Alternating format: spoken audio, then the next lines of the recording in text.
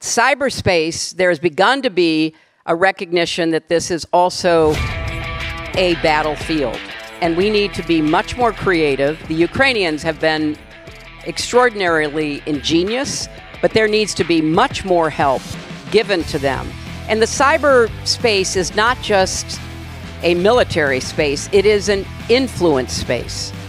And we see an extraordinary effort by the Russians, a successful effort, I believe, to influence minds, to affect political decision making, to make it difficult for leaders uh, in Bulgaria and elsewhere to really convince populations because they're getting so many other messages through social media and other sources about what Russia is really doing and meaning that runs counter to the warnings and the threats that we should be communicating. So that leaves the headspace. And I think it's absolutely important to be realistic and maybe to go from being too optimistic uh, to less optimistic, but not to in any way cede that headspace where we have to do a much better job of convincing ourselves, convincing our countries, our governments, that we have to stand with Ukraine and make sure that they do win. And it's going to be critical that we do that as in a series of ways, including not just government actions and rhetoric, but also being smarter about the influence side of this ongoing conflict. You know, I'll just end by saying, you know, Russia has been a master of active measures for a very long time. Their propaganda was uh, quite successful in recent years in a number of uh, arenas, uh, one of which I know very well. And I think it's important that we recognize we can't just assume that that is an area that they are going to dominate without giving them a fight. And we are not even in the same arena. They are influencing Africa, Asia, Latin America. Their message about what this war is about, who the aggressor is, what the consequences are, is going unanswered. And it's mostly being waged on social media. Finally, I just saw a, an analysis of what's on TikTok. And remember, TikTok is easily influenced by the Chinese government. So they may not be providing as much physical material, but they're certainly providing intellectual influence. If you look at and analyze content on TikTok, it is about a 50 to 1 ratio pro Russia versus anti Ukraine. Where are we? What are we doing? Why are we not engaged in that battle space, that cyberspace, that headspace? So I think I think uh, European leaders have really stepped up, and uh, I think eventually the uh, American House of Representatives will as well. But you know, we have a long struggle ahead of us, and the obvious point to make about Donald Trump is take him literally and seriously. He means what he says. People did not take him literally and seriously in 2016. Now he is telling us what he intends to do.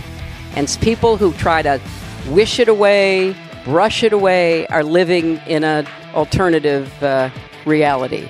He will do everything he can to become an absolute authoritarian leader if given the opportunity to do so. And he will pull us out of NATO, even though the Congress passed a resolution saying that he couldn't without congressional support because he will just not fund our obligations. Dear friends, Mr. President, Prime Ministers, Madam Secretary, dear ministers, general, our heroes, thank you very much that you are here uh, for our traditional Ukrainian lunch. Dear friend, thank you very much for what your country, your people, your nation doing for Ukraine. Ukrainians will never forget this. Thank you very much. But today we will talk not on not only about thank you. Uh, friends of Ukraine now often say the West economy is 20, 20 times bigger than Russia's. Definitely, we have to win. But it's not so easy. Yes, the West economy is 20, 20 times bigger than Russia's, but the US and the European Union gave 0.4% and 0.3% of their GDP, respectively, for military support for Ukraine. Russia spends 40% of their budget on attacking Ukraine, between 6 and 8 of percent of GDP, maybe even 10% of GDP. This compensates a 20, 25 times bigger Western potential. And it's not only what Russia produces, also what Russia gets from Iran and North Korea. They have very small economies, but they have big military production. Russia's leaders say this war is existential. The West does not see this way yet. This is wrong. Size of your economy does not win a war in Ukraine. Not even what you plan to give later. Matter what you do now. Ukraine cannot hold the line much longer without enough weapons and ammunition. There is no time to wait until the United States and Europe figure out who is ready to give what and when. Of course, Ukrainians will keep fighting whatever happens and will never give up. But Ukraine can lose in the short term. Ukrainians are exhausted, have no ammunition. I talk to Ukrainian soldiers much. They say if we knew the aid is coming, it would give us strength to reach this point. But as of now, we don't have this perspective. And what Ukraine loses in 2024, you cannot get back just because in 2025 you increase production. Many of you were here in 2022. You remember? It was a very dark moment. The West had waited too long to give Ukraine weapons. We knew a drama will happen because of this. And now in 2024 it can happen again. Don't hope it will not happen. Learn from 2022. Give more weapons now. Or you may regret your inaction even more than you did after February 2022. Europe and the West must switch their logic 180 degrees. Ukraine should not have to ask for weapons. You should proactively be proactively offering. Only then Ukrainians who do the impossible can preserve independence. Only this will create a chance for peace and security. Peace and security for you. 2022 was the year when everybody underestimated Ukraine. 2023 was the year when everybody underestimated our enemy. 2024 will be the moment of truth, and this year of truth, 2024, is in your hands. In big part, in your hands. Thank you very much for your attention. And Zanny, the floor is yours.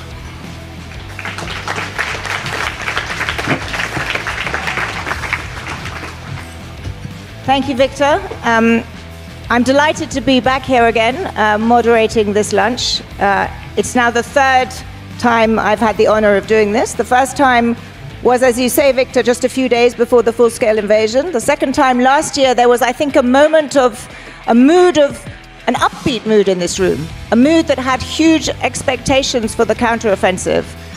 And now I think we meet again at a much more sober moment. Uh, this is the morning where the retreat from Avdiivka was announced. We are seeing an excruciating shortage of weapons in Ukraine. The US supplemental has not been passed. We saw yesterday with the killing of Alexei Navalny, yet again, just in case we needed any more proof of the kind of enemy Ukraine is up against. Uh, and just a few days ago, we had those comments from former President Trump uh, about NATO, which I think put into sharp relief the point, Victor, that you made that this is a question for the future of Europe and the uncertainties that Europe faces more broadly. So I think this is a, a an important and sober moment for us to have this conversation. And I think there's kind of two time frames and two parameters. The first is in the short term, how to ensure, as you say, Victor, that Ukraine gets these weapons. What happens? What is needed in the short term? And then a broader term of Europe's future, Europe's future with Ukraine, Europe's security future, what that looks like in light of the Russia that we have and the United States that I'm I'm not sure what direction the United States is going in. So it's that backdrop this conversation is going to occur. We have, as you can tell, a fantastic panel here, and there are also a number of you who uh, will be making remarks from the floor. Please, please keep your remarks brief because there are about 25 people who would like to speak in the next hour and a half, and you can do the maths. So no speeches. Um, but very, very briefly, Petr Pavel, President of the Czech Republic, Kaja Kallas, Prime Minister of, the, of Estonia, Alexander De Croo, Prime Minister of Belgium, Secretary Hillary Clinton, former Secretary of State, uh, Mette Frederiksen, Prime Minister of Denmark, and of course Nikolai Denkov, Prime Minister of Bulgaria. Thank you all for joining. It's testament to the just extraordinary importance of Ukraine, the sense of uh, solidarity, and indeed, Victor, the importance of this lunch that you have attracted this such a panel. Um, uh, President Pavel, I'm going to start with you because those of you who were here last year will remember that in a general mood of upbeat commentary, President Pavel was remarkably sober about what one should expect from a counteroffensive and what one should expect in terms of Ukraine's potential uh, on the battlefield and more broadly. So I wanted to ask you first how do you see things today? Are you as worried as many of us are, and what is the route forward? Thank you, and good afternoon to all of you. And I'm particularly pleased uh, to see uh, the uniforms of uh, Ukrainian soldiers. You have my great respect. Uh, first, uh, let me say that uh, I am really not glad that I was right last year. I would be much happier if we can celebrate Ukrainian success and restoration of full control over your territory. But um, my uh, intention last year was uh, not to ruin uh, combat uh, spirit of Ukrainian forces, uh, but rather stress that we all should strive for the best, but be ready for the worst. And also count with other options and be ready how do we react on them. Since last year, the situation on the battlefield has changed significantly. now we see that the situation is, is not good Uh, in a, a, number of areas. Um, uh, Russia, despite all of the mistakes uh, uh, on their side from the beginning of uh, the aggression, has learned a lot of lessons, including from Ukrainian military and their tactics. Uh, they uh, managed uh, to transit to war economy. They are now producing more weapons and ammunition that we collectively can provide to Ukraine. Uh, they don't care about their human resources, uh, so uh, their uh, pool uh, for mobilization is still much, much larger uh, than on Ukrainian side. And also, um, President Putin is now working with the direction to achieve some success, visible success, prior to the elections. So uh, what uh, we can do with this uh, situation, realizing the facts, is to support Ukraine in deliveries of weapons and ammunition from all the sources available. And I think we should be as innovative, as flexible as our Ukrainian soldiers on the, on the ground and uh, start looking uh, for an equipment uh, everywhere. Uh, and uh, I would use an example of my own country. Uh, where uh, we took an approach uh, uh that we are looking for ammunition and equipment all around the world, and then work with our partners in, in NATO. I would like to mention specifically Denmark, Netherlands, Canada, with whom we have come up with the arrangement that we combine know-how with resources. We uh, get that equipment uh, from third countries deliver it uh, to either our country for overhaul and then then speed it and deliver it to Ukraine. we have identified at this point half a million rounds of 155 caliber another 300,000 rounds of 122 caliber, which we will be able to deliver within weeks if we find quickly uh, funding for that um, activity. And we will uh, address our partners from US, uh, Germany, Sweden, and we look also around for whoever is able to contribute to this effort. The aim of this activity is to strengthen at maximum Ukrainian defense so that they uh, spare their uh, human resources, they cause uh, as much attrition to Russian forces as possible, and uh, that they hold the ground uh, they, they have uh, right now.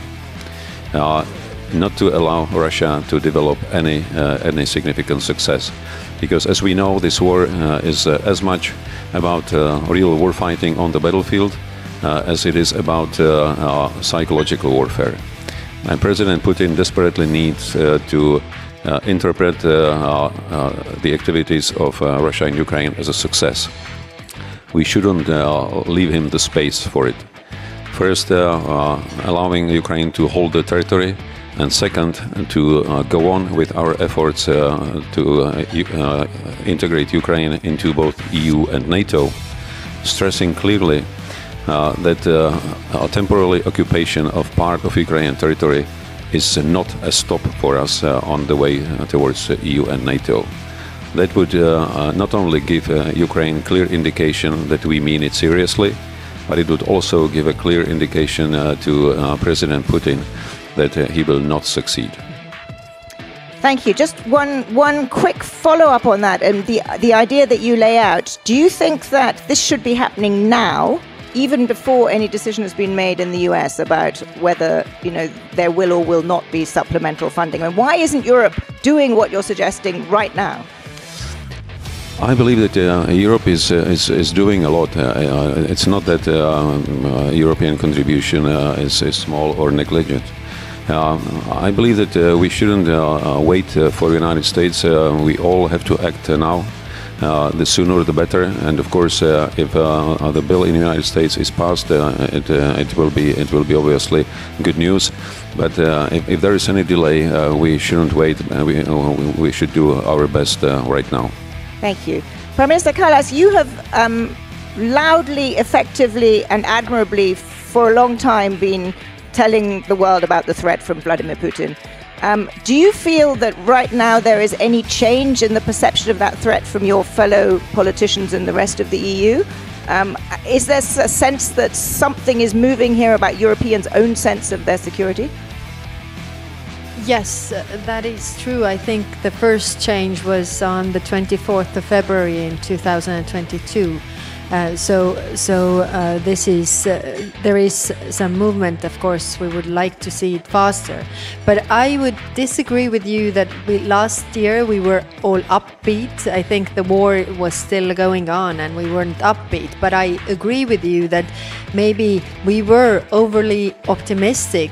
Uh, regarding the counteroffensive in 2023, what we should avoid is being overly pessimistic in 2024. I think you know if if we let you know our um, emotions down, uh, then we can't accomplish anything. I think this is also very very important.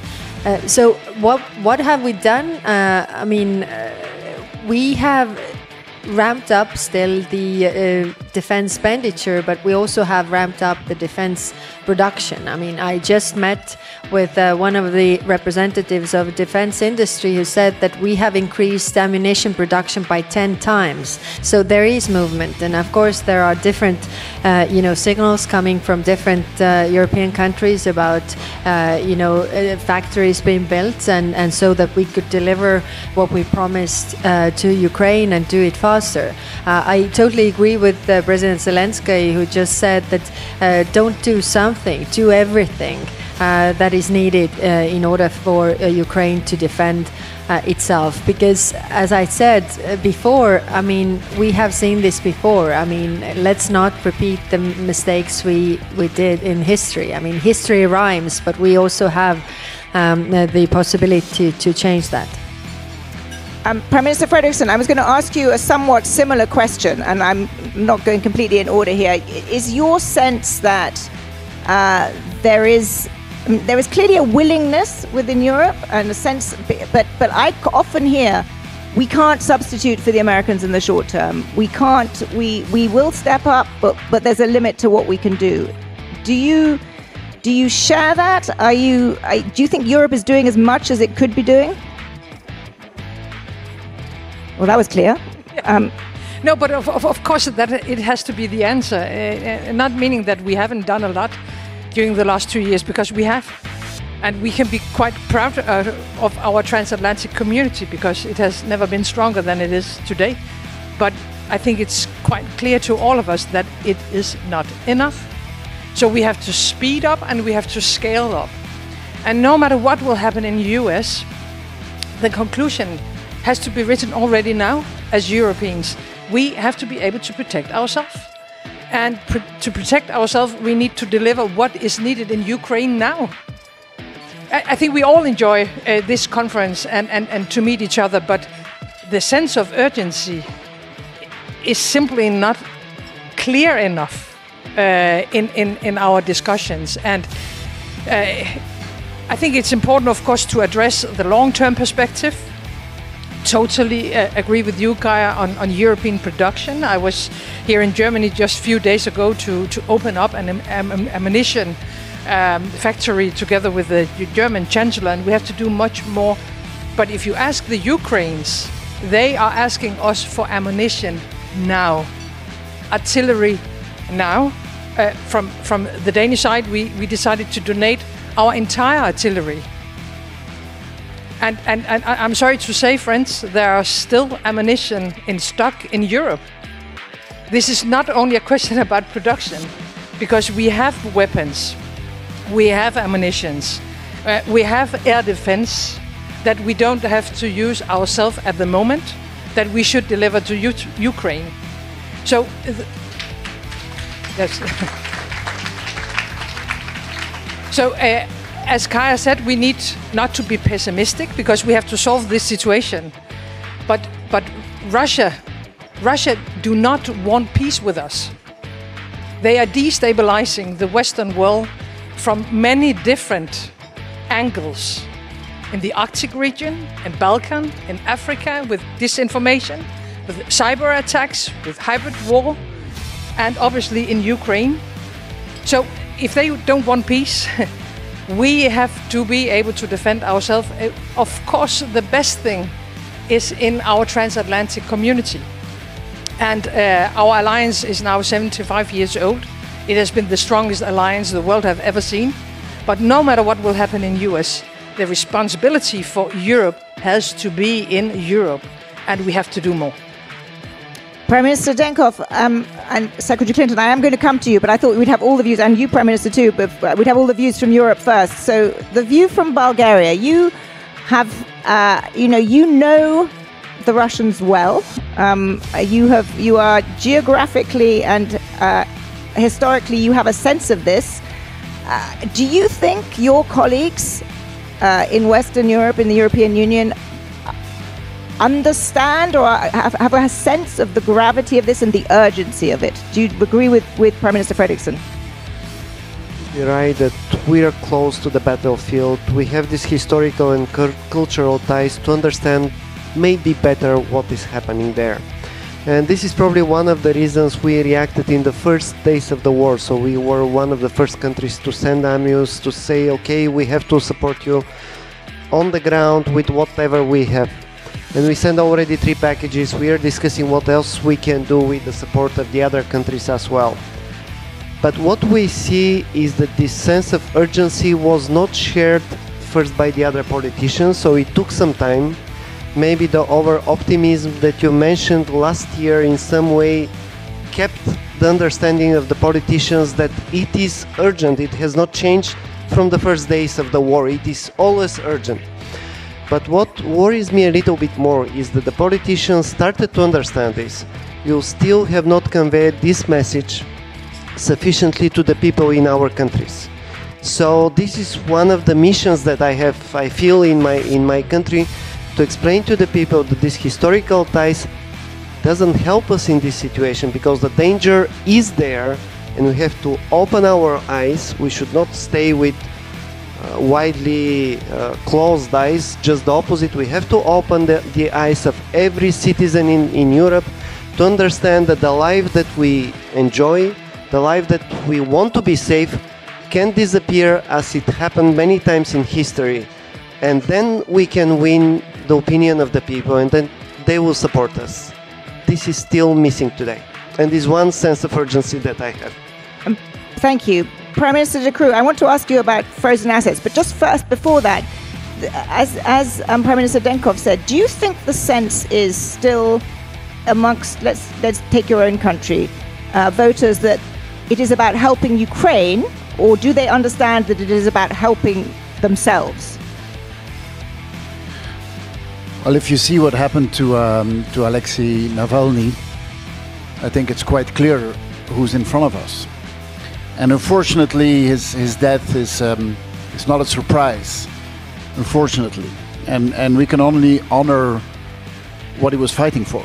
In fighting for democracy against corruption, and he kept going back. He could have stayed here, but he kept going back. So we can only have incredible admiration for what he uh, for what he stood for, and it shows the Russia in front of us, um, which is a Russia that only has bad intentions with their own population and with us Europeans. Um, so yes, Ukraine is fighting for much more than just Ukraine.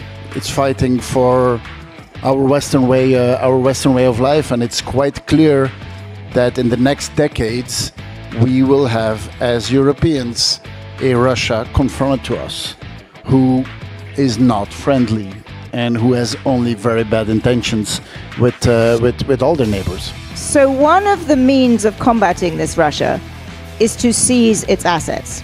And a large fraction of those assets sit in your country. Mm-hmm. Um, why aren't you doing more to, as some countries say, uh, seize those assets. Why is this still the subject of lawyerly discussion and not action?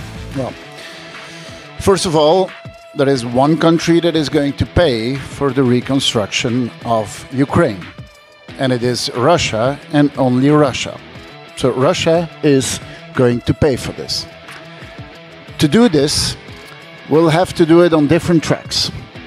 One of them is the proceeds of those frozen assets there, the European Commission has made a legal basis to uh, to use them, and we already use the taxation on the, the proceeds of that going to um, going to Ukraine. Then, for the assets themselves, um, we need to build a legal basis that enables us to use or to leverage those hundreds of billions that are sitting there.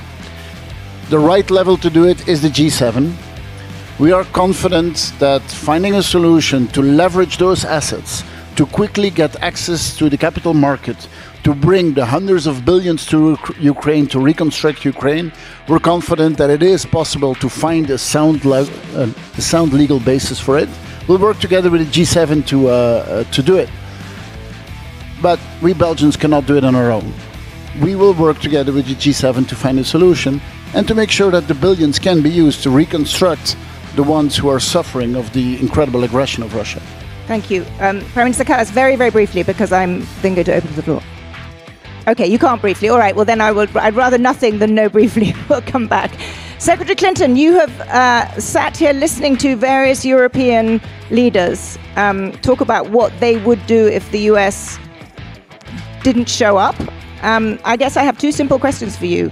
One is Will this supplemental be passed and will the US show up? And two, can we in Europe still rely on the US?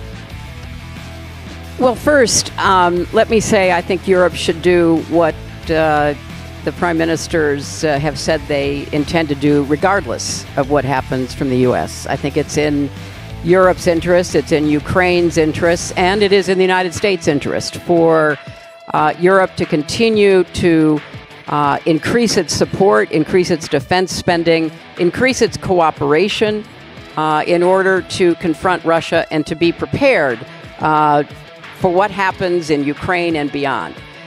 But I do think that the United States will finally pass the supplemental. It will probably not happen until March. Um, there is, as you know, a minority of Republicans in the House who have been holding it up. If it gets a vote in the House, it will pass overwhelmingly on a bipartisan vote. So the challenge will be getting it to the floor, and there are a number of ways that can happen. But the new Speaker of the House uh, recessed the House until February 28th, so there will be no official business until that date and after. It is also, I think, clear uh, that the administration remains committed. About half of the Republicans in the Senate remain committed. Uh, so, one way or another, we will uh, see additional funding. But I want to make a, a, broader point because I think what you've heard from the prime ministers uh, today is very historically important, and I want to underscore that. Um, part of it is a recognition of the threat to Ukraine being a threat to Europe, a threat to the transatlantic uh, alliance.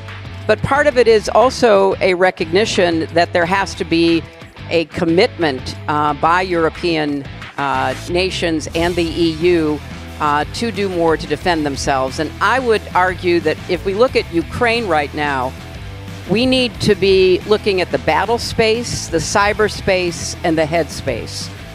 The battle space needs, as uh, Prime Minister Frederiksen said, more speed and scale. So finding those munitions wherever they can be found, stopping shipping to others in order to ship to Ukraine, looking for new production capacities, working with Ukraine to increase domestic capacity. All of that has to be done, and there also has to be a recognition that whatever reasons there were initially to withhold longer range artillery and more air support is no longer in any way relevant to the battle space and to the future of this conflict and what it means for all of us. So, whatever hesitancy there was, I think reality should have overcome it and we need to do much more, much more quickly. And I certainly think that's true for the United States as well. Uh, and you know, I see some people that uh, I had the privilege of working with uh, in uh, the Obama administration, like former General Petraeus here. And I think part of our message has to be to our own government get more creative, get much more in the pipeline more quickly. Because part of it is the delay between passing legislation and appropriation and actually getting things out the door. Cyberspace, there has begun to be a recognition that this is also a battlefield, and we need to be much more creative. The Ukrainians have been extraordinarily ingenious, but there needs to be much more help given to them. And the cyberspace is not just a military space, it is an influence space. And we see an extraordinary effort by the Russians, a successful effort, I believe, to influence minds, to affect political decision making, to make it difficult for leaders uh, in Bulgaria and elsewhere to really convince populations because they're getting so many other messages through social media and other sources about what Russia is really doing and meaning that runs counter to the warnings and the threats that we should be communicating. So that leaves the headspace. And I think it's absolutely important to be realistic and maybe to go from being too optimistic uh, to less optimistic, but not to in any way cede that headspace where we have to do a much better job of convincing ourselves, convincing our countries, our governments, that we have to stand with Ukraine and make sure that they do win. And it's going to be critical that we do that as in a series of ways, including not just government actions and rhetoric, but also being smarter about the influence side of this ongoing conflict. You know, I'll just end by saying, you know, Russia has been a master of active measures for a very long time. Their propaganda was uh, quite successful in recent years in a number of uh, arenas, uh, one of which I know very well. And I think it's important that we recognize we can't just assume that that is an area that they are going to dominate without giving them a fight. And we are not even in the same arena. They are influencing Africa, Asia, Latin America. Their message about what this war is about, who the aggressor is, what the consequences are, is going unanswered. And it's mostly being waged on social media. Finally, I just saw a, an analysis of what's on TikTok. And remember, TikTok is easily influenced by the Chinese government. So they may not be providing as much physical material, but they're certainly providing intellectual influence. If you look at and analyze content on TikTok, it is about a 50 to 1 ratio pro Russia versus anti Ukraine. Where are we? What are we doing? Why are we not engaged in that battle space, that cyberspace, that headspace? So I think, I think uh, European leaders have really stepped up. And uh, I think eventually the uh, American House of Representatives will as well. But, you know, we have a long struggle ahead of us. And the obvious point to make about Donald Trump is take him literally and seriously. He means what he says. People did not take him literally and seriously in 2016. Now he is telling us what he intends to do. And people who try to wish it away, brush it away, are living in an alternative uh, reality. He will do everything he can to become an absolute authoritarian leader if given the opportunity to do so. And he will pull us out of NATO, even though the Congress passed a resolution saying that he couldn't without congressional support because he will just not fund our obligations. So we may be there, you know, in name only. So take it very seriously and uh, continue to do what Europe needs to do on its own. So that is a sobering. Um, thank you, thank you, Secretary. That is that is a that is a sobering point to turn uh, to you, Andrei Yermak, head of the Office of the President of Ukraine. Uh, two questions for you. The first is give us a sense of just how much pressure you are under for lack of ammunition. Give us a short term sense of the stakes. And secondly, uh, perhaps you could tell me how you are planning, given what we just heard from Secretary Clinton, and given what the US polls tell us, which is if the election was today, it is fairly likely that President Trump would win. This is a very real probability that needs to be thought about. How do you think about it? it could happen in less than a year. First of all, works works. Uh, first of all, thank you very much. I'm very, uh, first of all, for me, big honor to be here now and uh, to see a lot of very big friends of Ukraine, uh, who is uh, the great leaders and uh, the great people who support Ukraine and stand with Ukraine from the very beginning of this uh, unprovoked invasion from Russia. First of all, thank you very much for your support and help. Thank you for your questions. Uh, yes, it's a critically important uh, the time.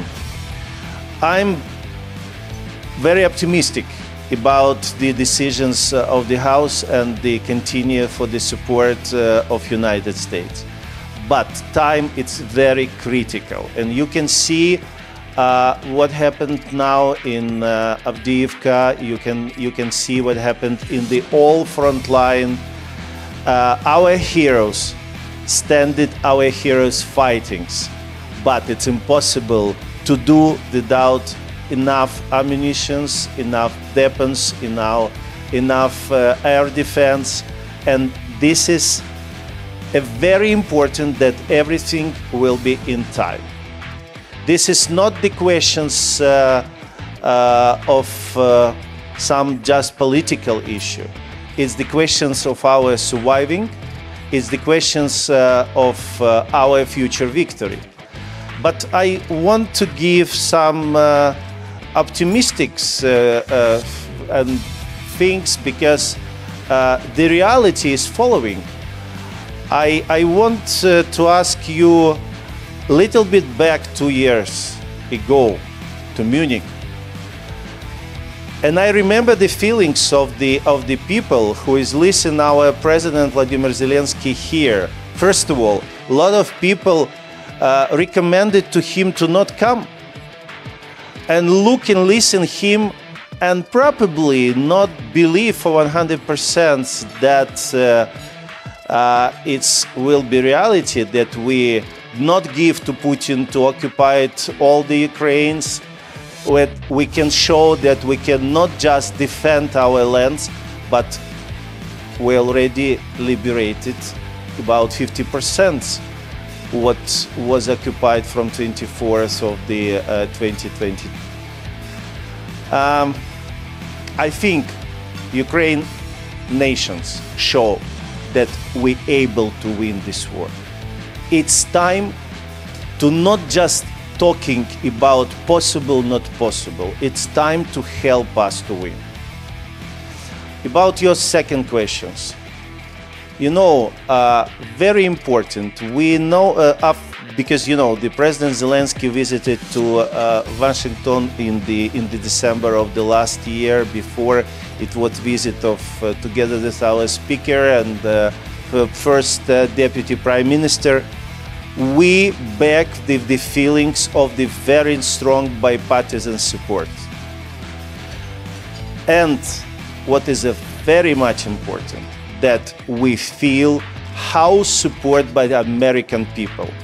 Because American people clearly understand that for what Williams were fighting. And yesterday tragedy, the murder of the Alexei Navalny, maybe to open the eyes just for the some skeptical people in the world, what is it uh, Russia today? Who is Putin. And it's impossible, uh, so, you know, I will listen, especially during the meetings of the national security, security advisors of the peaceful formula of the President Zelensky. We are listening, uh, especially from global South country. Why you not sitting to the table with Russia? Why you not negotiate? I think what happened yesterday, what happened two years ago, maybe it's enough to think that this Russia, this Putin, it's possible to negotiate and to trust them. And I'm, I hope, I believe that uh, this support of American people uh, will be push some political, some uh, politics who is uh, maybe uh, hesitate and not understand that this aids, uh, for us it's a very urgent and this is a very critical thing. Maybe, except that it is worth remembering what Secretary Clinton said that Donald Trump should be taken seriously. And he has said that he would make peace in 24 hours, which everyone assumes, I think rightly, is peace at your expense do you not you, you must be thinking about this. So how how do you this is this is not a you know tiny negligible prospect. You know i repeat i'd like to repeat the great answer uh, to the practically same uh, questions uh, uh which our president received uh, uh, today in the morning. And he answered that if President if, Donald Trump decided to come to Ukraine, I'm ready to go with him to the front line. And uh, he personally see what happened, and uh, maybe it's uh, uh, will give to him the real understanding because I absolutely sure the people who is personally and many of the leaders personally not one times visited to Ukraine during this uh, uh, two years. I don't know a person who personally visited and go to Kharkiv, go to Bucha, go to Odessa, back to the home and not be sure for 100% what it's necessary to support Ukraine, what it's possible to believe that Ukrainians able to win this war. Thank you. Thank you. Um, can I now turn to General Petraeus to you? Um, you spoke, I remember it vividly two years ago uh, on this panel, and you said the question you had was would Ukrainians fight? And that question has been very powerfully answered. Now, um, could you give us your assessment of what is at stake in the short term in terms of the weaponry crunch? What can be done if the supplemental is not passed? Uh, how pessimistic, optimistic are you on the battlefield in the next few months? Well, thanks very much. And uh, thanks, Victor, as always, for pulling us all together for the crucial issue of the day, frankly. And Madam Secretary, thanks for such a powerful uh, statement, really on behalf of the country and really on behalf of reality. You can see, by the way, why I was so privileged to have her as a great supporter at the Situation Room table uh, when I was in uniform and then at the CIA. Um, look, I first want to say that when we think back to last year, I think, Victor, you characterized it beautifully where you said the first year we underestimated the Ukrainians, the second year we underestimated uh, the enemy. The truth is, what we also underestimated was the slow pace of decisions. The optimism, if you will, last year was qualified. It was based on expectations that the U.S. decision on tanks, on longer range precision munitions, on improved conventional munitions, cluster munitions, on Western aircraft. All of these were, de- many more, by the way, were delayed far, far too long. MLRS at the beginning and so on. And it wasn't just that, again, there was an us- underestimation of the formidable Russian defenses and so forth. Uh, it was that we didn't put in the hands of the Ukrainian soldiers what they really needed at the time that they most needed it. And we lost an opportunity as a result of that. So, Madam Secretary, when you say, you know, again, we should learn from this, there should not be this hesitation, this almost self deterrence that we have experienced over the years. This is a really important moment. Um, look, if this doesn't come through, uh, I just did a piece for foreign policy actually, and they, they asked me, what do you see for what lies ahead in Ukraine? And the title of the piece is It Depends. It depends most importantly, obviously, on how quickly and how much the U.S. provides to Ukraine. That is the what hangs over all of this. It depends on how the European leaders in their countries do what has been described up here. My old military colleague, now president, I think captured that beautifully. Um, it also depends, frankly, though, you know, Andre, on the ability of Ukraine to generate additional forces. We all know in the Rada there's a very, very difficult decision that has to be taken uh, on whether or not this conscription age will be lowered, how you'll be able to generate forces, and of course, keeping in mind that the enemy has three times the population of Ukraine and an economy that's probably 10 times. So, and we can list a number of others. It depends on the pace of technology acquisition not just what we give Ukraine, but what Ukraine does. By the way, we should not overlook the enormous success of the past six or eight months that has taken place in the Black Sea. Who's achieved that? The Ukrainians did this. It is their maritime drones that have done this.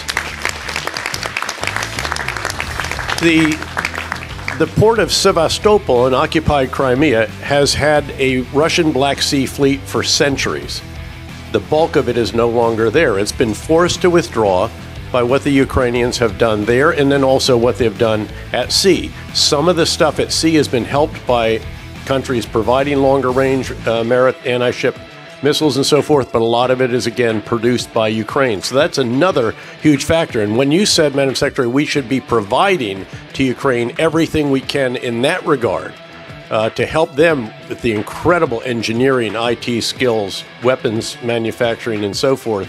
That's another crucial element. So I think, you know, I used to be asked when I was commanding the surge in Iraq, are you an optimist or a pessimist? And I would say I'm neither.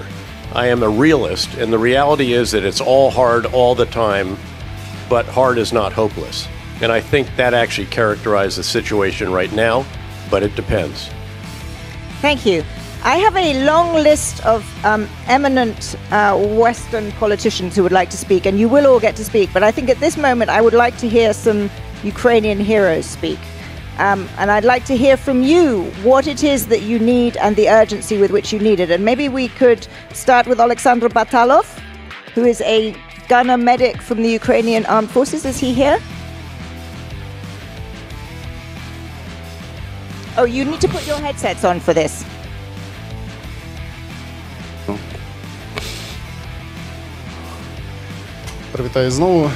Yes, my name is Alexander Batalov. I'm the soldier of the Ukrainian armed forces. In the civil life, I was doing massage. Um, uh, um, I was working. I was um, very happy for my country and my family. I was traveling a lot.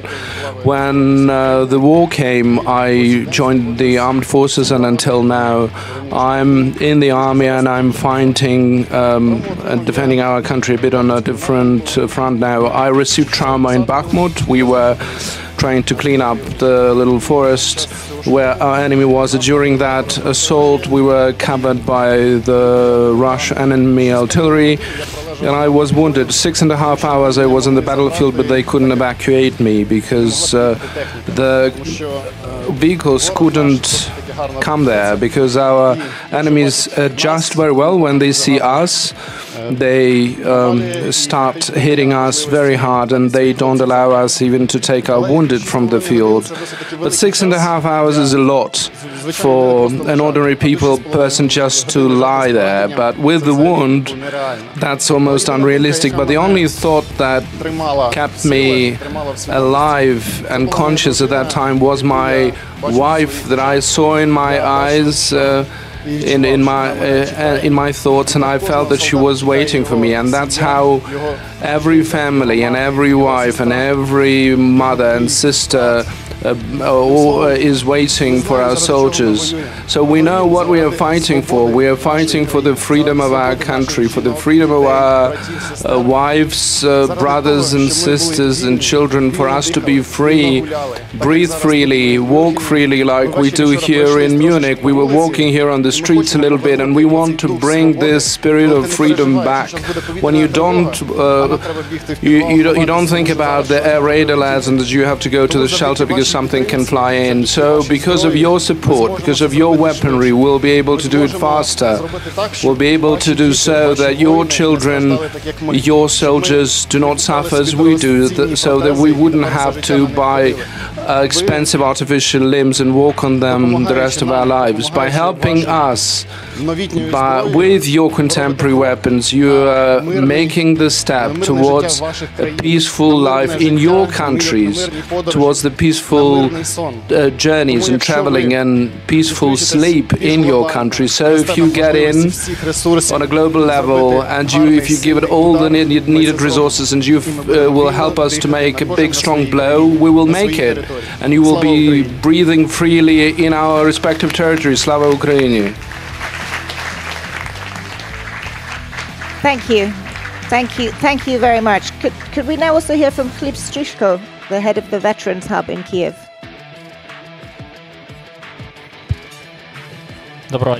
Uh, good afternoon.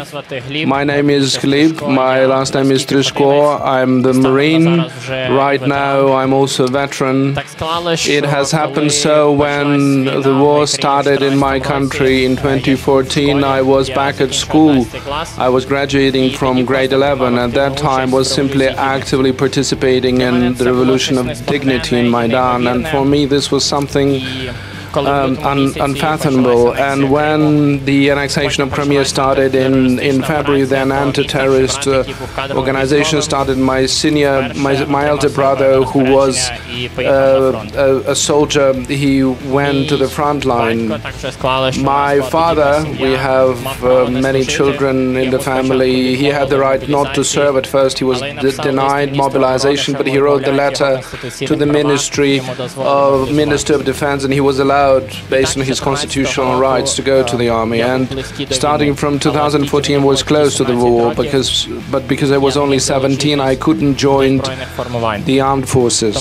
So I was uh, studying in the university. My brother kept saying that he gives me the opportunity to study, and that for me was extremely valuable. And as time go, went by, after graduation, started working in the Ukrainian Academy of Leadership with Ukrainian youth youth, and I was working in the city of Mykolaiv at that time that had the largest uh, military presence at that time. I had lots of uh, uh, aviation coming from Crimea, lots of Marines, um, and I was um, happy with the motto "Sem- Semper Fidelis," which says "always uh, true, always."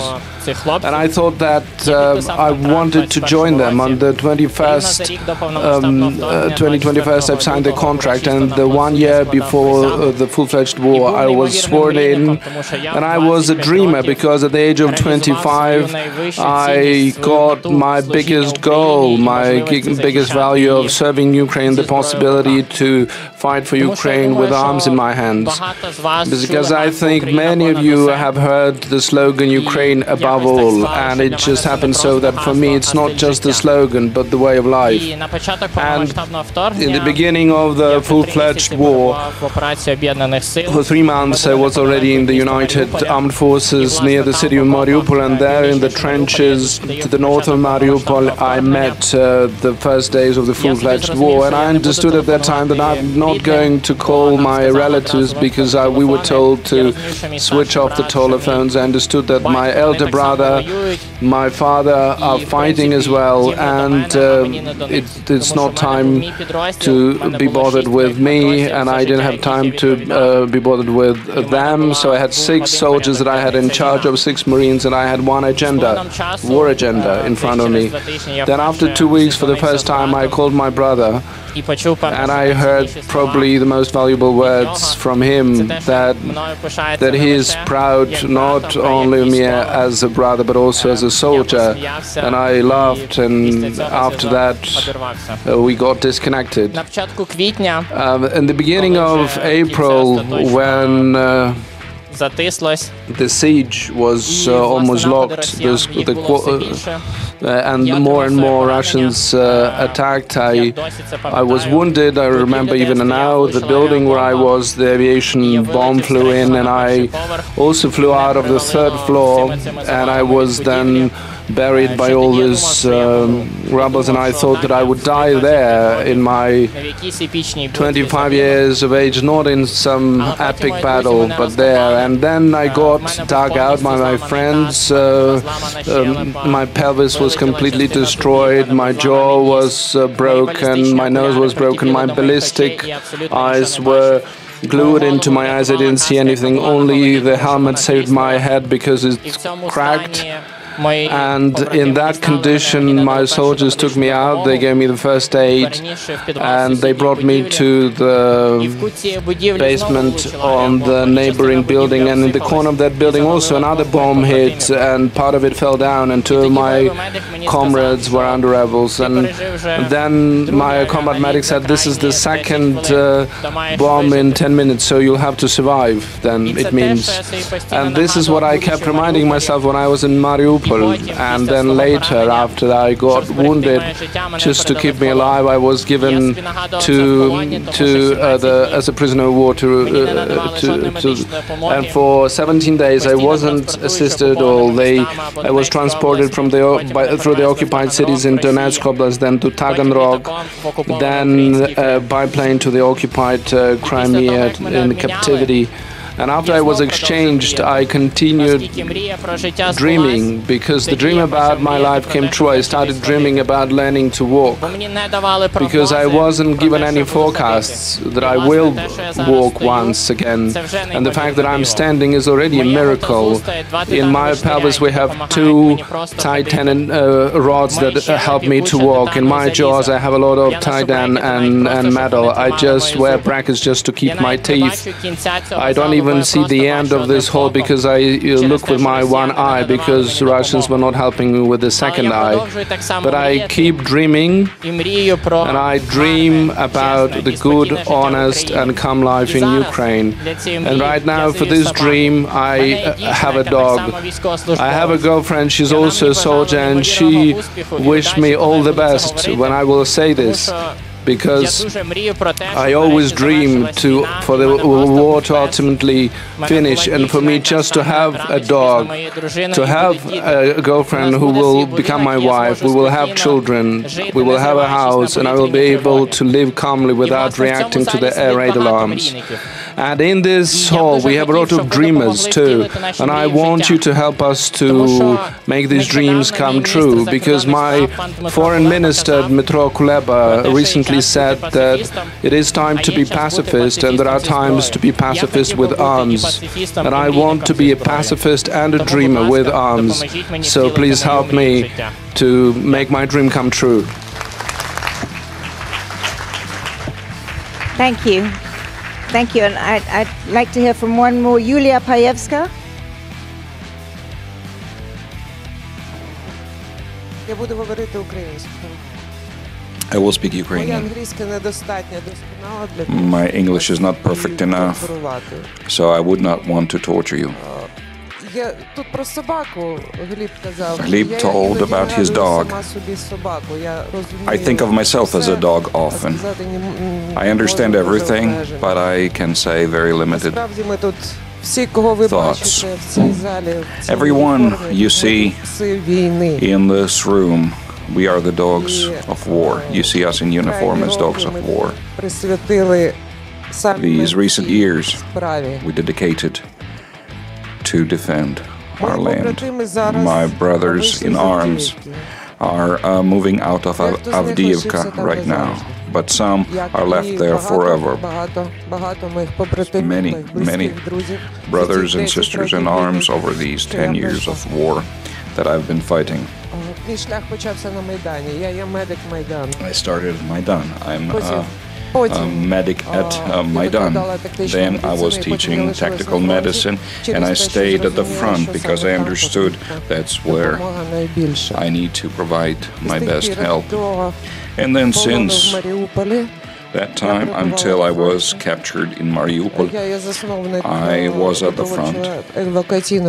I started um, a battalion of medics, angels.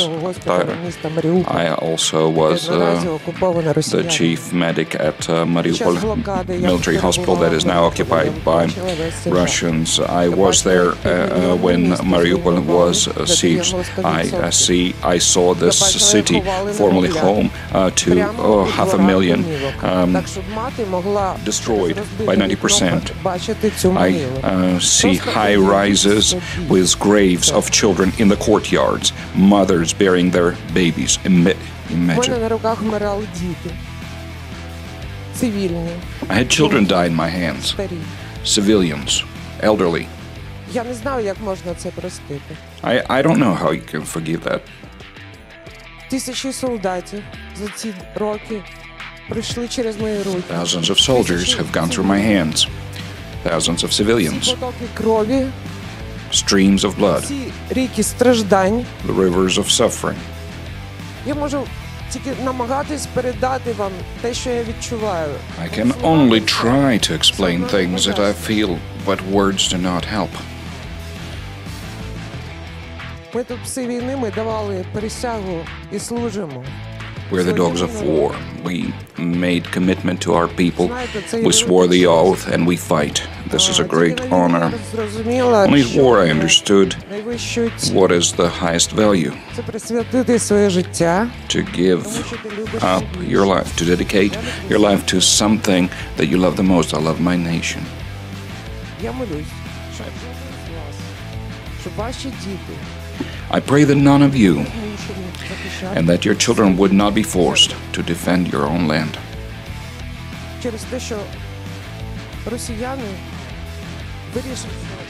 Just because Russians would decide that they had right to your land. I was in captivity for three months.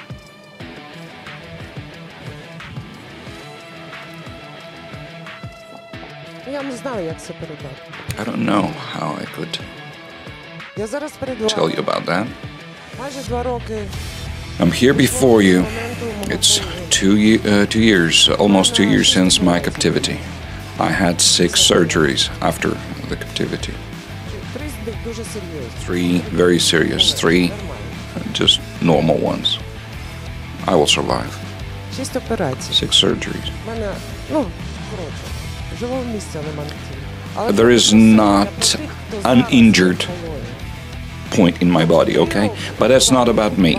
It's about those who remain in captivity for two years, being tortured every day, being beaten every day.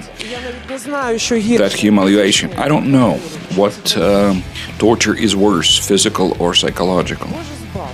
God forbid for you to experience that.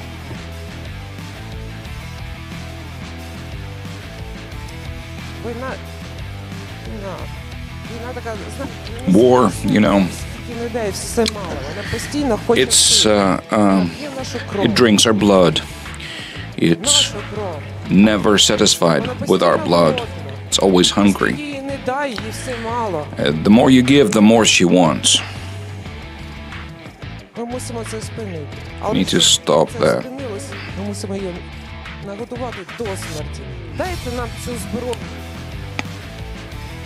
Нехай вона вже. To stop the war, we need to kill the war. Give us weapons to murder the war. Впораємось. Допоможіть нам. We will manage, just help us a little bit. Thank you.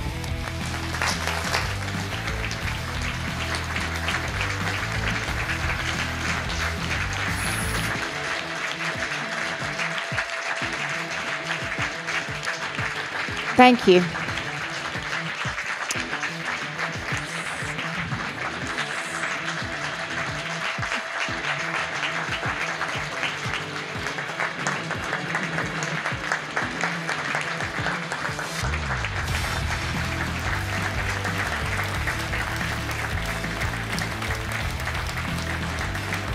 Thank you. Thank you, Yulia. Thank you to all of you. Thank you for your heroism and thank you for reminding us in the most powerful way of what is at stake here. It is going to be hard for anybody to speak after this. But I think it is time, perhaps, to get a sense of historical perspective before we go back to the politicians of today. So, briefly, we have two eminent historians here. You know them both well. Maybe Timothy Snyder, I could start with you, and you could try and give us some some context to make sense of just what we've heard and where you see where we are now, two years in, um, and and put put the stakes and put the the fight that Ukraine is involved in into that broader context.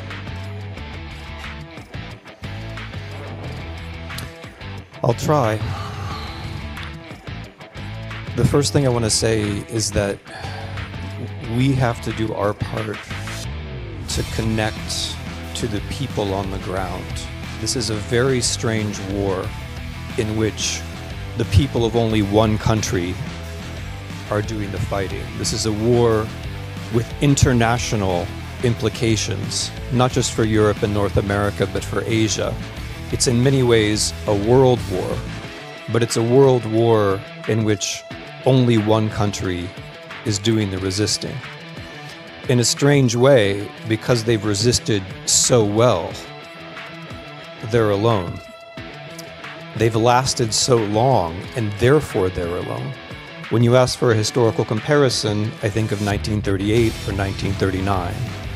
Poland held off the Wehrmacht for a while, longer than people remember, at great losses. But it was a matter of weeks, not years, and so others had to come in. Because the Ukrainians have resisted so well, no one else has had to fight yet.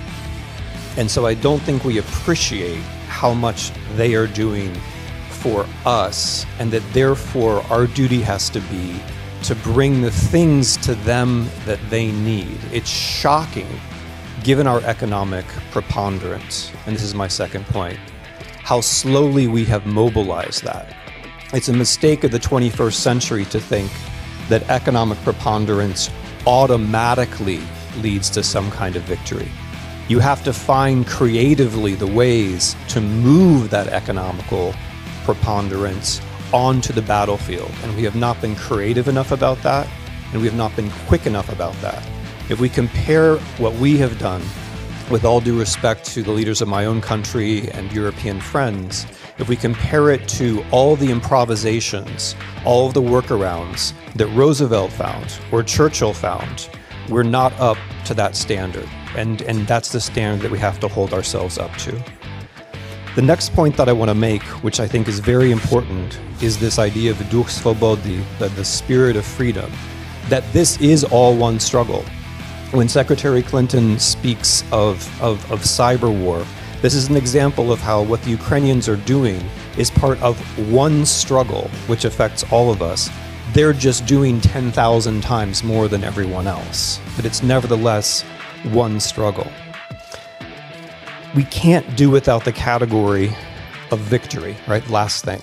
Secretary Clinton used the word victory. Mr. Yermak talked about winning. You don't always win wars, but you never win them unless you set victory as the goal. We have to set victory as the goal. In 2024, the Europeans have to help the European help, help the Ukrainians hold the line with or without the Americans. I'm optimistic about March, I'm optimistic about November, but with or without the Americans, the word that we all have to use is victory. If we don't set that as the goal, it's not clear what we have to do in the meantime. Thank you. Thank you. Uh, Niall Ferguson, and then after that, Anne Applebaum. Niall, you have you have looked at the grand sweep of many conflicts. Put this, put your perspective on this. Well, Zanny and everybody, Victor, the challenge is to convince certain people and politicians that this is as dire a need as Yulia just described. And that is a challenge. Think of the recent polling from the United States, which shows that only a small and dwindling minority of Republican voters think the United States is not doing enough. Uh, there's still a significant number who think it's doing enough, and then there is a proportion that think it's doing too much. But it's not only Americans. Sometimes one comes to the Munich Security Conference and feels as if it's all America's fault. It's also Germans, how do you persuade German voters and politicians that a debt brake makes any sense at all when the defense budget is less than 2% of gross domestic product, which, as my good friends at the uh, Kiel Institute show, is historically a ludicrously low percentage. It's lower than was imposed on Germany under the Treaty of Versailles, for God's sake. The arguments against increased defense spending in Europe are laughable. They're laughable economically. Because defense spending is insurance. Defense spending is investment, it's not consumption. Germany could have a world class defense industry and a world class army if it chose to. And I would have thought the imperative is rather more compelling than for voters in the swing states of the United States, given the proximity of this conflict. So, how do we do that? Julia, your speech was the most moving thing I've heard at a conference in many years. I shall remember we are the dogs of war tonight and for many years to come. How do we get your message to those people, those voters, and those politicians who pander to their laziness? I think there are two ways. The first is to say, this is indeed, as Tim Snyder rightly says, a world war already. It's not just a little war here, a little war there. These wars are connected. Russia, China, Iran, and North Korea are a true axis today, cooperating, colluding to undermine the Western international order what used to be the Pax Americana. And they're doing it with increasing effectiveness. And there will be other theatres of war. There already is a theatre of war in the Middle East, with the prospect that that will escalate too. Before long, there will be a theatre of war in the Far East. That seems almost inevitable. So we must persuade those Republican voters, those Free Democrats. This is a world war and it affects you. One way or another, it comes to you. The dogs of war will not remain in Ukraine, they will not be confined to Israel. And the last thing I'll say is we must help our people imagine those dogs of war. What I see around me in the United States and in Europe, in Germany, is a colossal failure of imagination. It's as if we just can't imagine it happening to us. We just can't picture it. As if it never happened to Munich. As if bombs never rained down on London. As if American boys were not the dogs of war. In the 1940s, in the 1950s in Korea, in the 1960s in Indochina. Why can't we imagine this? I recommend greater imagination. Let us all try when we go home, wherever our homes are, to make Julian's dogs of war seem visible to voters, visible to politicians. Because these dogs of war are, I'm afraid, dogs of world war. I'll leave it there. Uh, one, one person who has done a huge amount to help us with that imagination, to lay out the threat posed by Vladimir Putin in, in brilliant prose, both in her books and in her articles, is Anne Applebaum. And the floor is now yours because you have on so much of this been proved so right.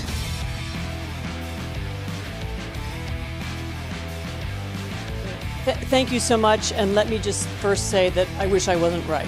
So, th- um, thank, thanks for that. Um, let me make two points. One is to echo what Niall just said and what others have said that it's incorrect right now to think of what we're doing now as fighting a Cold War. You know, this is there isn't one block on one side and one block on the other side. What we are fighting is a connected group of autocracies who cooperate when it suits them, not always, who have not necessarily anything in common ideologically. So nationalist Russia and communist China and Bolivarian Venezuela and you know and, and, and, and Cuba and Iran, uh, theocratic Iran, would not agree about many things.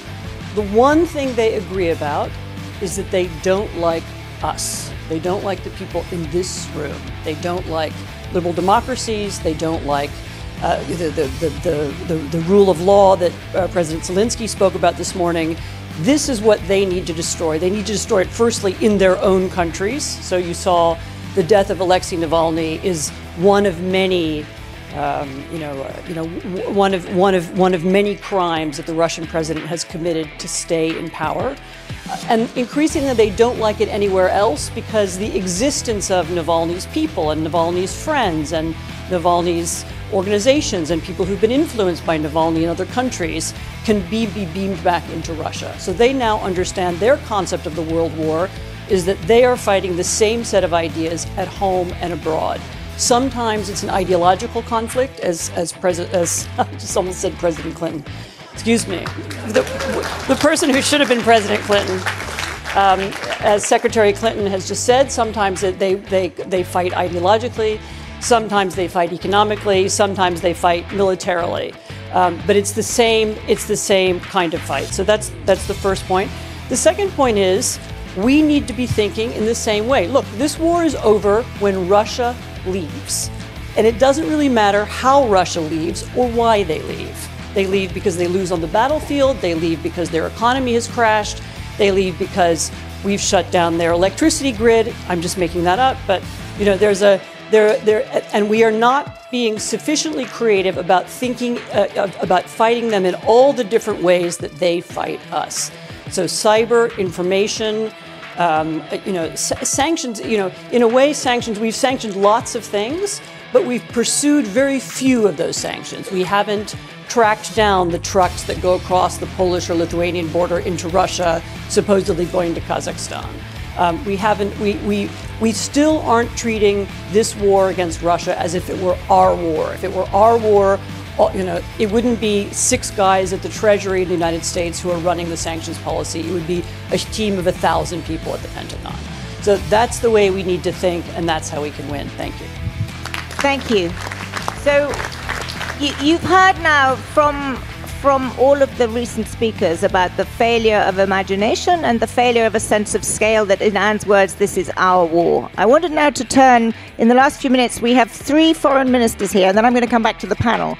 Um, but firstly, uh, Foreign Minister Tobias Billström, where are you, the Minister of Foreign Affairs of Sweden? Uh, what are you going to do to answer the challenge that our eminent historians have just uh, laid out? Well, thank you very much for uh, raising the bar so high, but I hardly could jump over it in those few minutes that have been uh, allowed to me. I will just start by saying thank you to all the ones who have taken the floor before me, most notably the people from Ukraine, who we follow your struggle every day. I would just like to say very briefly the following. As everybody has said, the ramifications of Russia's war on Ukraine, well, they reverberate globally. They impact economies, trade, the livelihoods of millions, and also the, the, the exacerbating food insecurity, which is also something we should talk about. And I think that when we look at this, with every passing day, Russia's atrocities and destruction of Ukraine continues. And the Kremlin consistently, as have been said by many, is trying to gain the upper hand through its larger population, its industrial capacity, its disregard for human suffering. And this strategy could succeed, as many have said and talked about, if the Western support were to decrease. So our response must continue to be strong, determined, making sure that the Russian defeat is the only possible endgame in this. And together with our transatlantic partners, NATO, global allies. We have stood united in our support for Ukraine, and this unity is the key to help Ukraine beat back the aggressor. Uh, now, I'm not going to go through all the things I have been given by my excellent staff. I'm just going to be very brief about this. We are joining NATO. Sweden is doing that, hopefully in just a few weeks' time. We're making the largest shift the greatest shift for 200 years, leaving behind the history of being a non-military aligned country. And we are doing this exactly for the reason, Niall, which you were talking about, namely that we understand what could happen if we don't increase our security and our safety. And what's going on in Ukraine is a clear message to all of us that we need to take security firsthand. We have to put it above all other priorities, and that means doing all that the panel spoke about, increasing the production of ammunition, but more importantly, giving Ukraine what we already have. That is the most important thing at hand right now, and that is a call to all of us in this room. Thank you. Thank you. Uh, Espen Eide, Foreign Minister of Norway, very briefly. He's right there. We need a microphone for the. Uh, it's behind. It's on your left. All right. Thank you. I'll be very quick because I know we're almost out of time. But first, thank you to all the speakers and particularly uh, my tribute to all the Ukrainians here. Uh, it's your cause, but it's also our cause, and we have been communicating very consistently that your battle is our battle and, and, and your victory is our victory. And if you, there wasn't a victory, it's also our very strategic, severe problem which is why we want you to succeed.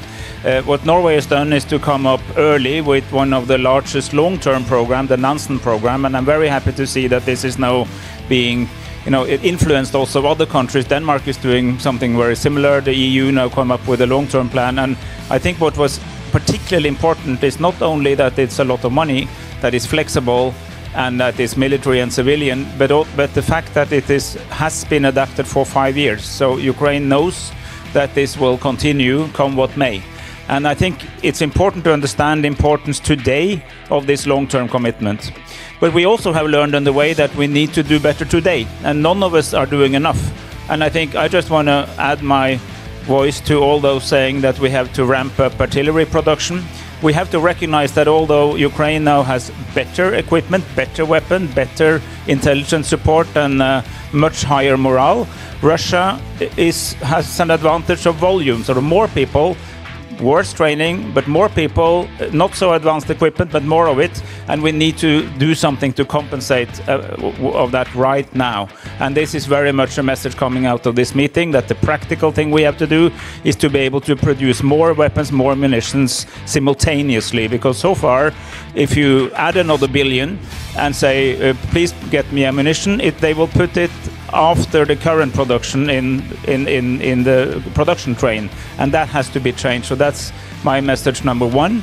And the other one is that that commitment is not only to Ukraine until they win the war, but also be beyond that, because we also have to prepare now for helping Ukraine, an independent, sovereign, free, democratic Ukraine, to become a true member of our Western uh, Euro-Atlantic structures, so that they will not only prevail in war but also prevail in peace. And this is a call to everyone here, and we need to do more. None of us, we are doing a lot, but we need to do more, and we all have to inspire each other to really understand that the cause of these fantastic men and women that we've heard is also our cause. Thank you. Thank you very much.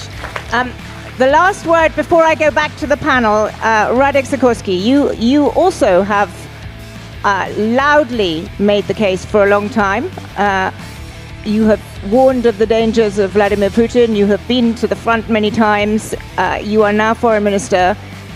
Give us a sense of how you would respond to Niall Ferguson's challenge that, you know, we just haven't had the imagination yet. What needs to happen? What concretely, and then I'm going to come back, so leave a challenge here for your heads of state um, and, and leaders. What do you want to see concretely now to really change things?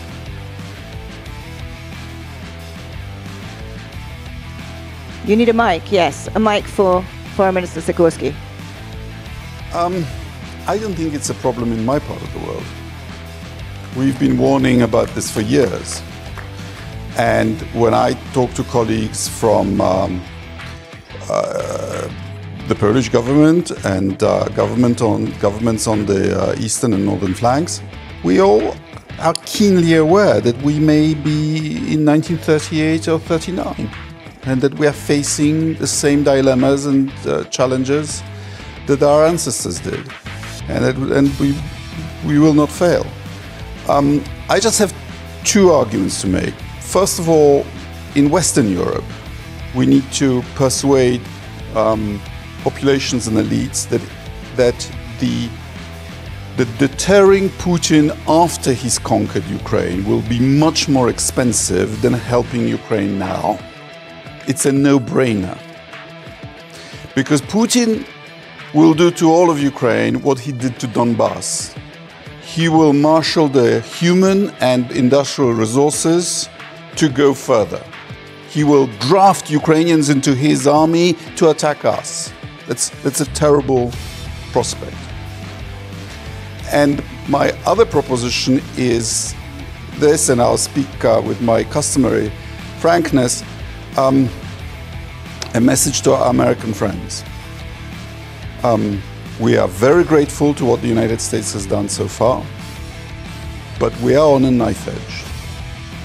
Because Europe, even with all the financial resources that we've given, and they're actually bigger than the US, is not at the moment capable of producing all the equipment and ammo that is necessary. We cannot do this with the United States.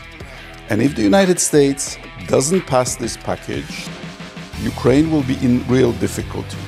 But the United States will then be seen as an unreliable ally. In other words, they encourage you to fight, and then, because of some parochial concerns of somebody you previously never heard of, they don't come through. That will have consequences for America's alliances all around the world countries will start hedging. And this will affect American interests in ways that, are, that, that you can't even predict. And therefore, I think it's really, really important for the US to pass this package. Thank you. Thank you. One, one person who put this very starkly just recently was Troels Lund Poulsen, the acting Minister of Defence of Denmark. Where are you, Minister? Uh, and you said, uh, and I'm going to quote you, it cannot be ruled out that within a three to five year period, Russia will test Article 5. That was not the assessment of 2023. So um, I, I would like to acknowledge you, acknowledge the clarity with which you said that, and I'm now going to turn, if you don't mind, to the panel because we're massively running out of time. But that challenge that the defence minister laid out, the challenge that uh, Foreign Minister Sikorski has given, you've heard a remarkably moving uh, set of testimonies from our Ukrainian heroes. What what do you take away from this? You were very sober last year.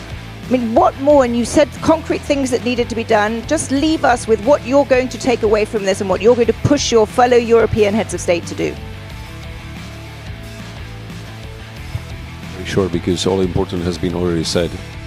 We heard a number of uh, moving uh, stories of Ukrainian soldiers, and uh, every day of delay will increase the number of these stories, including those uh, who will lose their beloved. I think we should really do uh, all uh, what is uh, at our disposal, uh, looking uh, in a very innovative and flexible way on all options to provide what Ukraine needs. they are suffering.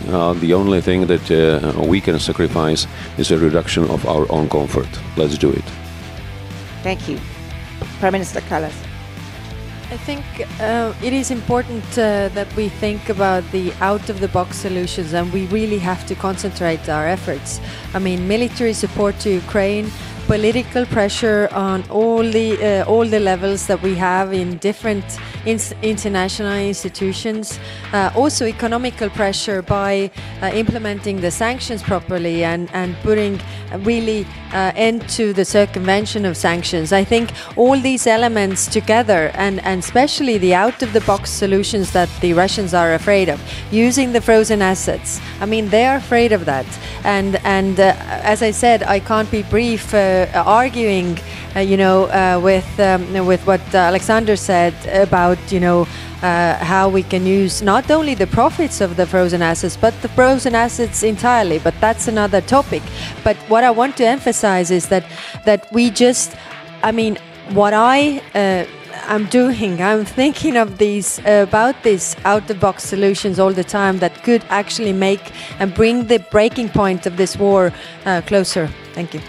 Thank you. Uh, Prime Minister De Croo, are you, I'm going to ask you a tough question to conclude, but I, and I don't mean it personally, but when, when we are all looking back at this, and you particularly, given your role now, are you confident that you will be comfortable that you uh, and your fellow European prime ministers did as much as you possibly could have done? I think the unity we've shown is way more than anyone would have expected and way more than Vladimir Putin expected.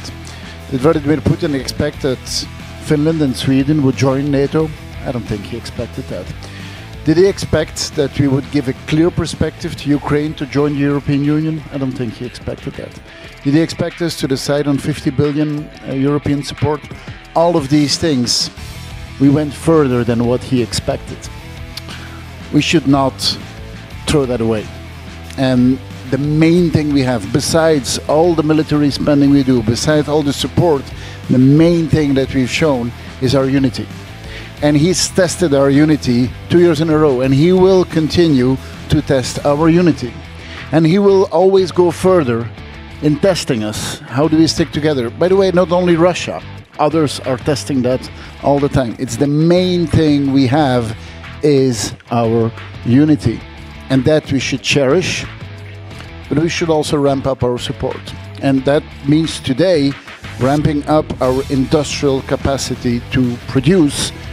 We did not have that enough in Europe. We did not expect that we needed that. Uh, we need to speed that up in the short term, and then we need to maintain it because I'm convinced that in the next decades, we, the Western world, will be challenged by Russia and by others, and we need to be ready for that. Thank you. Prime Minister Denkov, what's your take on that? I'll build up a little bit over what was said by Alexander. Just two, three years ago, we were discussing whether we have to try to unite Europeans for one or another topic. I think one of the lessons that we have learned is that not only about Ukraine, about the migration, about the other challenges that we have.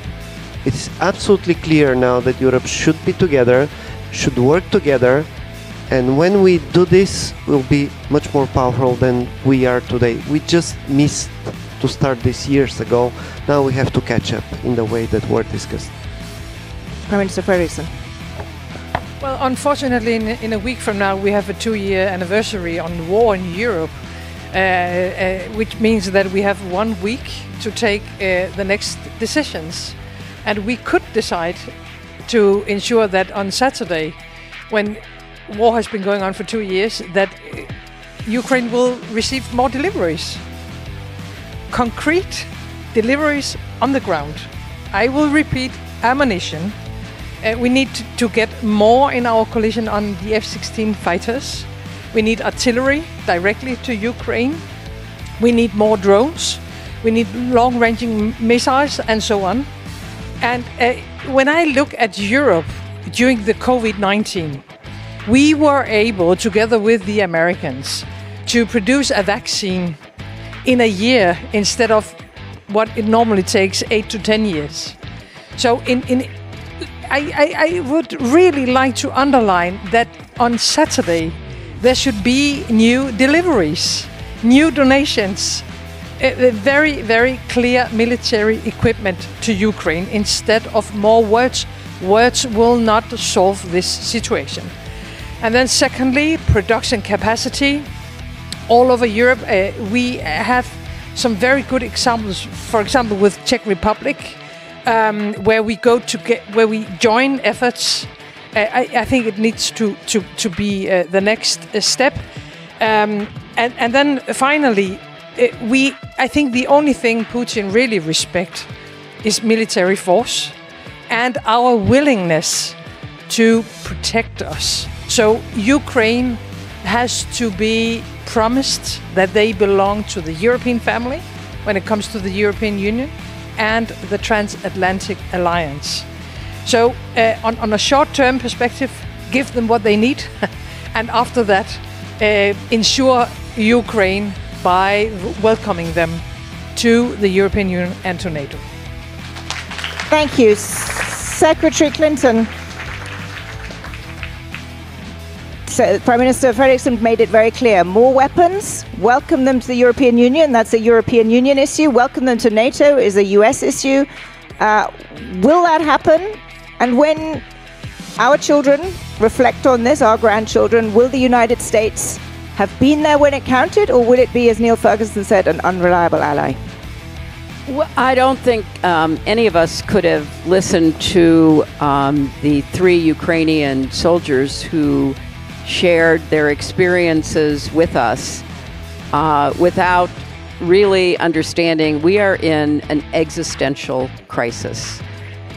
I hate that when people use the word and they talk about, you know, not having the right dress to wear. I mean, this is a really serious, historic challenge that we will either rise to meet or we will fail. And we don't have a whole lot of time to prove that we will rise and succeed. And the Ukrainians are paying the price for that hesitancy. And so I think if we will be much more focused on resolving all of these issues that we have talked about for two years. And I'm 100% with uh, Prime Minister Frederiksen if everyone here who is in any position of authority, either in government or can influence government or in business or can influence business, will take these next week or two to literally figure out okay, how do we unfreeze the assets? How do we get more ammunition and more other material quickly to the battlefront? How do we demonstrate the kind of resolve that is required when you face an existential crisis that we've already heard should be rightly called a world war already. So it's it's challenging because we're coming out of a period, and some of us were talking about this earlier at another uh, gathering. We're coming out of a period where none of us wanted to be here again. You know, coming out of World War II, going into a Cold War, going into other military conflicts, finally seeing the Soviet Union disintegrate, thinking that China was on a constructive path to be a responsible stakeholder in the world community, on and on. None of us wanted to believe what we were seeing in front of our very eyes because it just was so disappointing to think we had to get back on war footing. You know, European countries spent 3% plus on defense budgets during the Cold War.